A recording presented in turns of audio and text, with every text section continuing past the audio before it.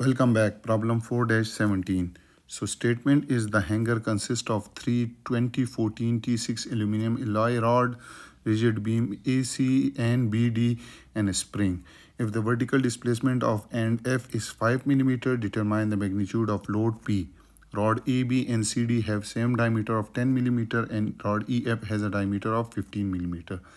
The spring has a stiffness of 100 meganewton per meter and is un unstretched when P is equal to 0. So this is the hanger that consists of rod A, B, C, D and EF and two beams AC and BD and there is a spring and this load is applied P at this point. So due to this load this point moves 5 millimeters downward. So uh, what we have to find we have to find this applied load P. So let's start with the solution. So we know that change in length is equal to P into L divided by A into E. So we will find the internal load developed in rod A, B, C, D and EF. So for EF, uh, when we cut it, so it will, the free body diagram is given below. So P is downward. So in order to balance it, this PEF is equal to P, that is upward.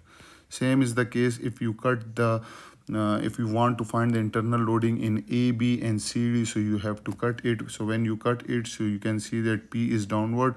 So in order to counterbalance it, this PAB and this PBC, PCD will be equal to P by 2 because this P is divided in these two rods and same you can see here p is applied at this end. So this will cause it to move downwards. So there will be a compression force in this spring.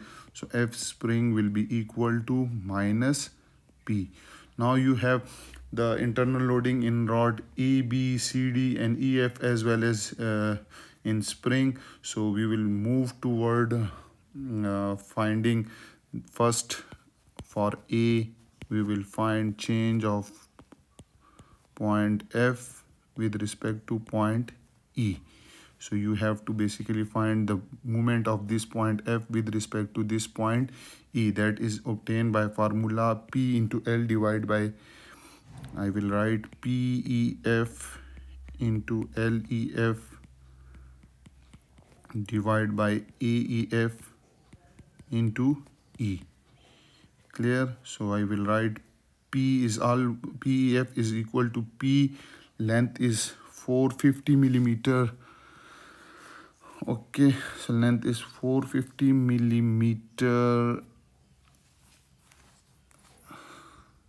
450 millimeter so i will write 4 length is 0 in meter it is 0 0.450 diameter is pi by 4 pi by 4 d square so diameter of ef is 15 millimeter.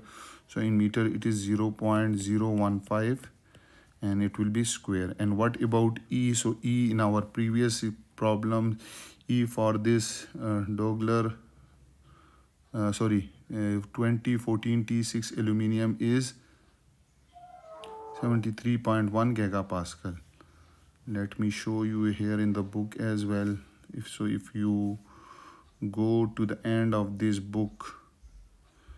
So you can see this is this and the value is 73.1 gigapascal so 73 e is 73.1 into 10 to the power 3 uh, 10 to the power 9 pascal so again when you solve this you will get p is 30 is a change in point F with respect to point E is 34.83 into 10 to the power minus 6 P and this is positive value so it means that point E moves downward. Same for rod BAB and CD both are same so we are going to find out the uh, deflection of this uh, point B with respect to point A. So change in point B with respect to A is equal to PAB which is P by 2. Length is again 450 which is 0 0.450. Area pi by 4. D. So D is 10 millimeters so in meter is 0 0.10 square.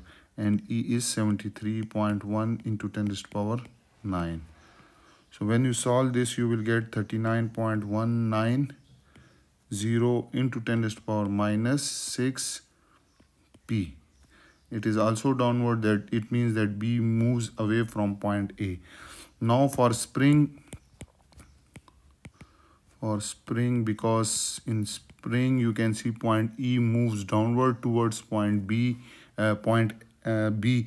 So change in point e with respect to b is equal to spring force divided by k because we know that E of spring is equal to minus K into change of EAB not minus.